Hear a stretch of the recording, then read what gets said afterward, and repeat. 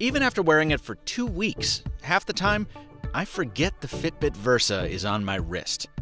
It's the lightest, least obtrusive fitness tracker I've ever worn. Yes, it's got a duller design than last year's Fitbit Ionic, but it's also a much better smartwatch than that one was at release, at a much lower price, too. I'm Mr. Mobile, and this is the Fitbit Versa review.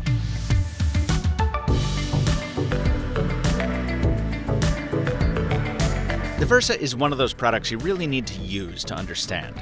Seeing it on the screen, it's natural to draw comparisons to the Apple Watch, or maybe to the old Pebble Time put out by the company Fitbit acquired in 2016. Not being a fan of square watches or big bezels, I didn't find a lot to like in the Versa when I saw the announcement.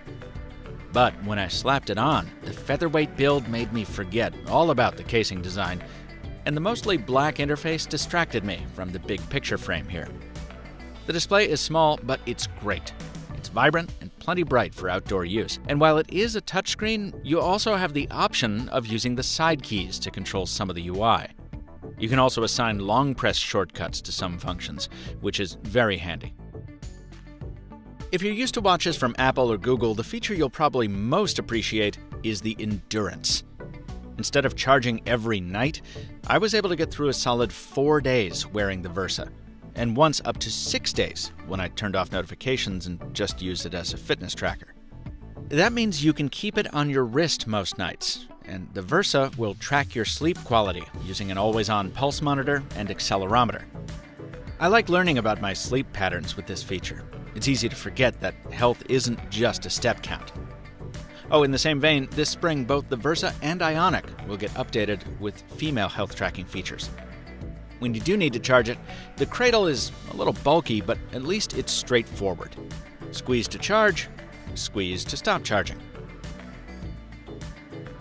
Despite the broader take on health that devices like this are encouraging, most folks still think of exercise when they see a Fitbit. To test out those features, I went to my least favorite place on the whole planet the gym.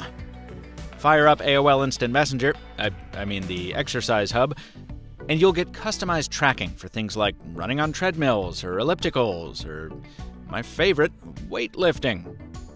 To see more of Michael Fish Out of Water, please subscribe to the Mr. Mobile on YouTube. Okay, in all seriousness, the exercise modes work pretty well for tallying things like calorie burn and so on. And there are 20 custom workout profiles in the app if you're less of a runner, more of a spinner, or martial artist. I was dismayed not to see kayaking, though.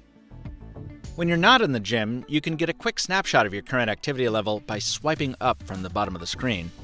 Or you can swipe down from the top to see the most recent notifications passed on from your phone. Step counts over my two weeks with the Versa have agreed with other devices on my person, though the Versa does like to give you a lot of bonus steps that you haven't really earned. I get constant pats on the back for sitting at my desk typing, which um, I don't think is intended. For folks who need a different type of motivation, Fitbit Labs has some experimental apps like Treasure Trek, which turns walking into a pirate style treasure hunt. Fitbit says apps like this get some users to log about 50% more steps per day. Get further from fitness, and the Versa stumbles a bit as a smartwatch. The software is still fairly bland in design and more sluggish than pretty much all of the competition. There's also this annoying bug where you'll get multiple vibrations for the same alert if you haven't checked old notifications when a new one comes in. Tough to describe, but basically it just means your wrist is buzzing a lot more often than it should be.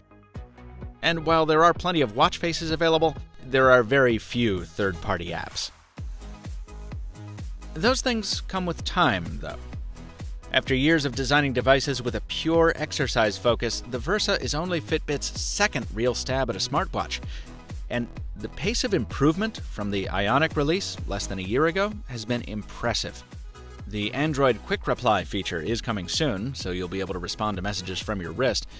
Uh, this and many of the Versa's features will be backported to the Ionic.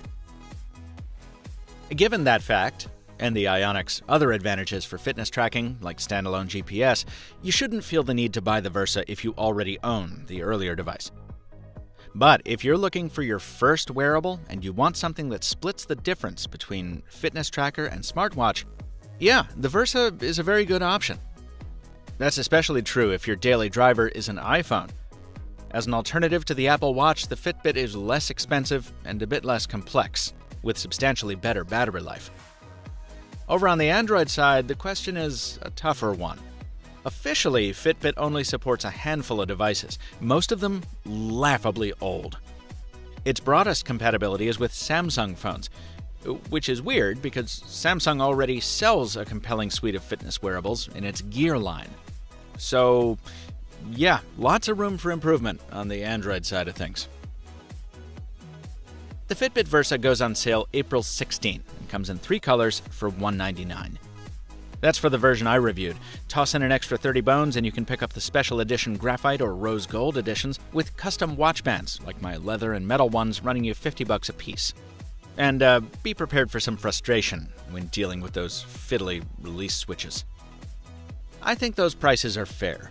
Despite its rough patches, the Versa is a much stronger product than I might have expected as a sophomore effort, and it's my new go to recommendation for those in search of an Apple Watch alternative.